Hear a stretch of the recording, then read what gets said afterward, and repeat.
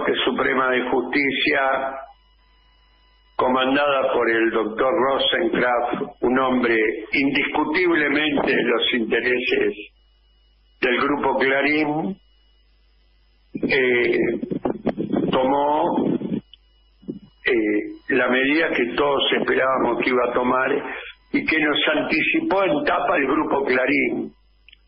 ¿Qué cosa esto de que Clarín publica las decisiones de la Corte Suprema de Justicia antes de que la propia Corte se expida?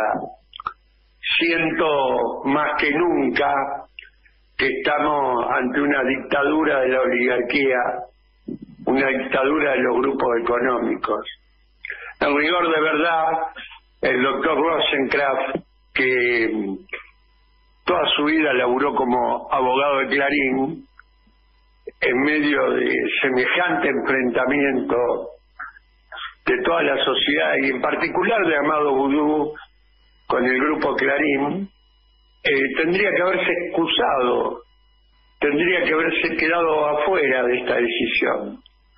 Decisión que tomaron basados en el artículo 280 del Código Procesal Penal, que le permite a los jueces de la Corte no explicar sus fallos.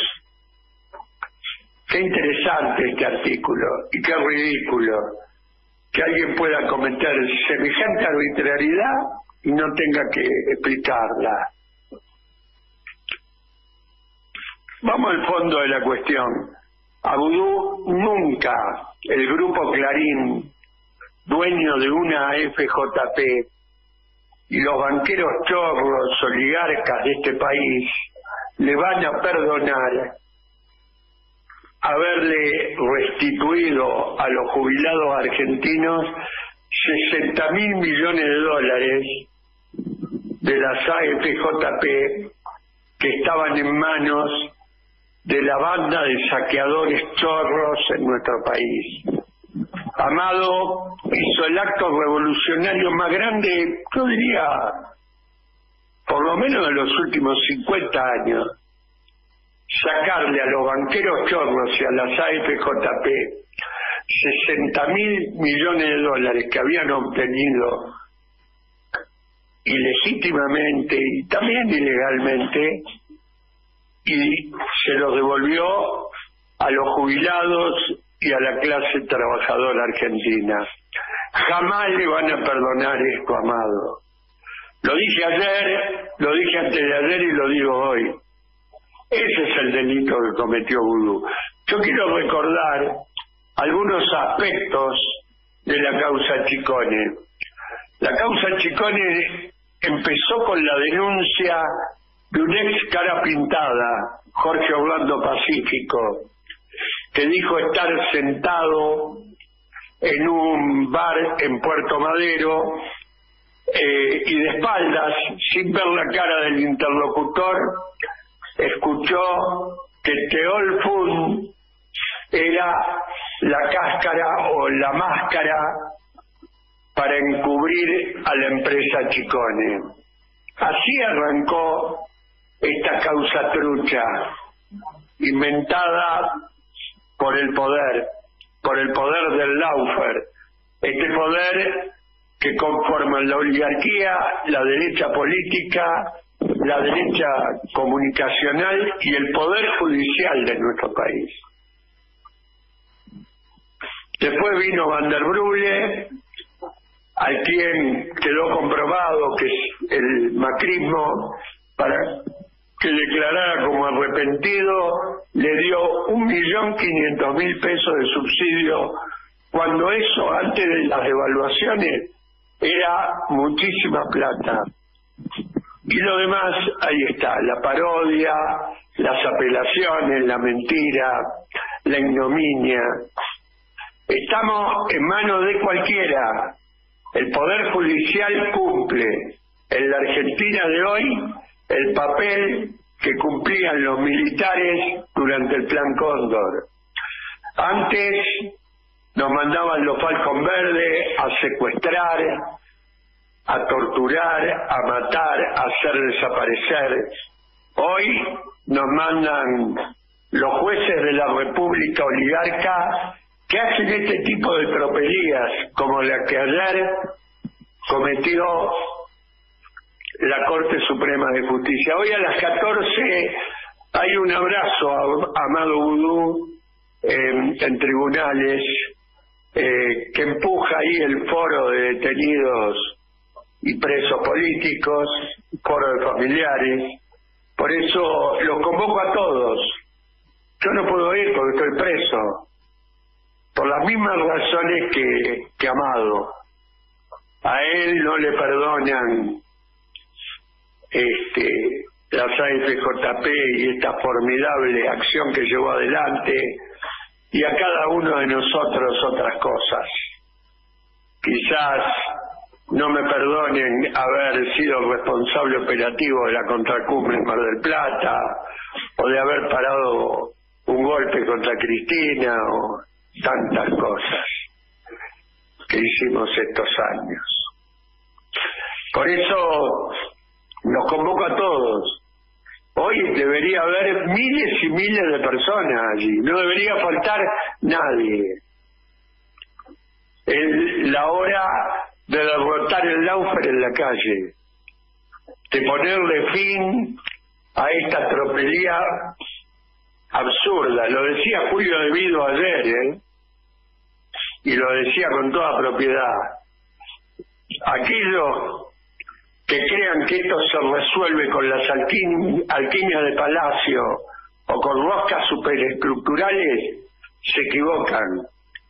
Después de haber aceptado a los a los arrepentidos contra Cristina, la que viene Cristina, van a meter en cana a Cristina. ¿Eh? Este, acá hay una sola banda ladrona, la que nos endeudó en 177 mil millones de dólares y fugaron 86 mil millones de dólares al exterior.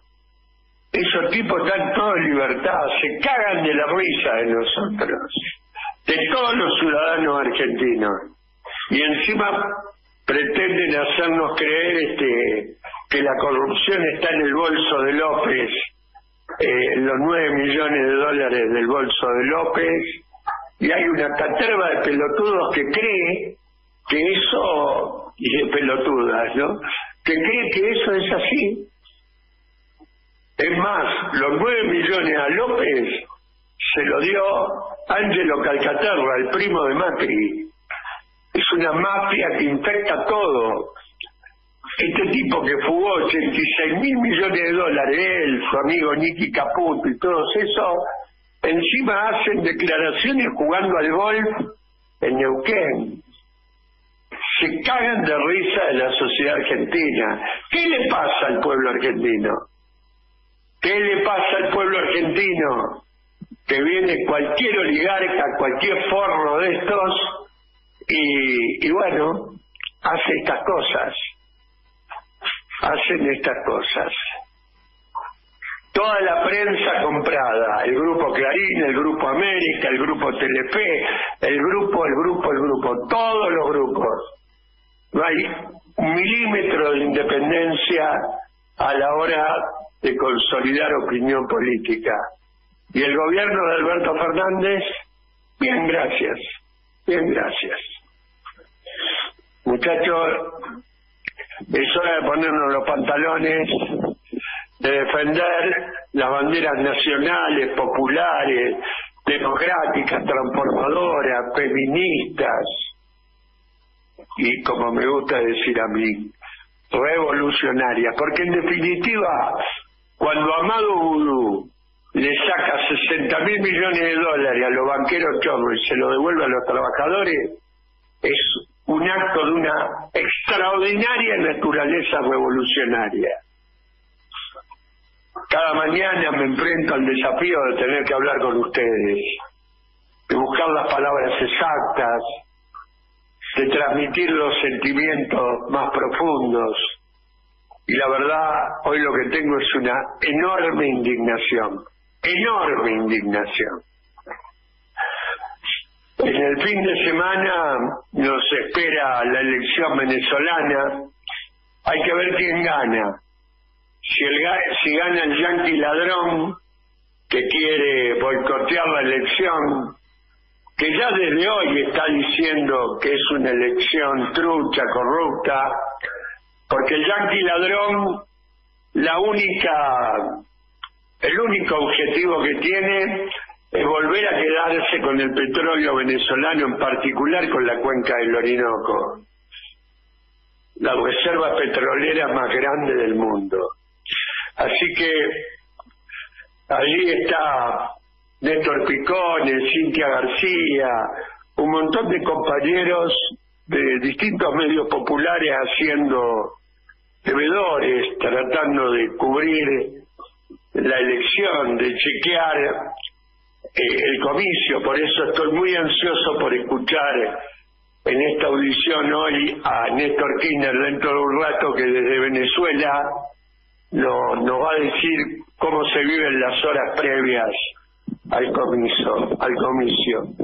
Pero de verdad que hoy reviente la plaza la Valle, la plaza de tribunales, que vayamos todos a darle un gran abrazo a Amado, Amado que está, que está preso y que está preso por, por esto, por haber practicado la justicia social, por haber llevado adelante un programa maravilloso. Fui, y los libros de historia así lo indicarán, fui compañero en el pabellón B, en la unidad 31, durante varios meses con Amado Vudú. Muchas veces en el pabellón caminamos juntos, hablamos de la vida, de la política, de la economía. Una persona talentosa, un buen tipo, un tipo lleno de convicciones, que ojalá tenga mejor destino que tanto arribista, ¿no?